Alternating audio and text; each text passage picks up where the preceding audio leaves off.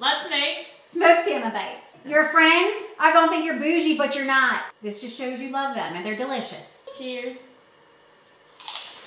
Mmm.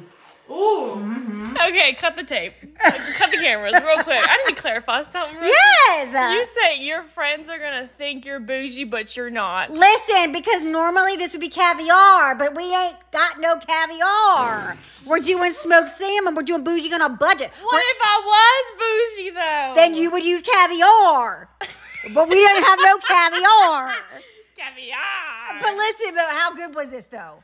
it was delicious, but I just I can't I can't comprehend the backhanded compliment. It's you not a backhanded compliment. Your friends are gonna think you're bougie, but you're not. But it, within, if somebody within this walked, recipe, pause. yes, If someone walked up to me and told me that, I'd be like, "Go perfect for the Super Bowl.